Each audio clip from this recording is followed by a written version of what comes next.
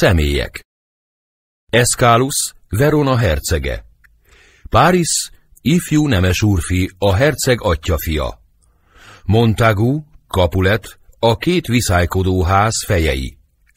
Öreg Kapulet, Kapulet nagybátyja. Rómeó, Montagu fia. Mercutio, a herceg rokona, Rómeó barátja. Benvolio, a herceg rokona, Rómeó barátja. Tibalt, Kapuletné unokaöccse.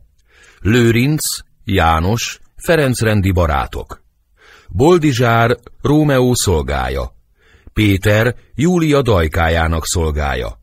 Sámson, Gergely, szolgák Kapuletéknél. Ábrahám, szolga Montagújéknál. Három muzsikus, Páris apródja, másik apród, Őrtiszt, Montagúné, Kapuletné, Júlia, Kapuleték leánya, Júlia dajkája, Kar, veronai polgárok, férfiak, nők a két házból, állarcosok, őrök, nappali és éjjeli kíséret. Szín, Verona az ötödik felvonásban Mantova.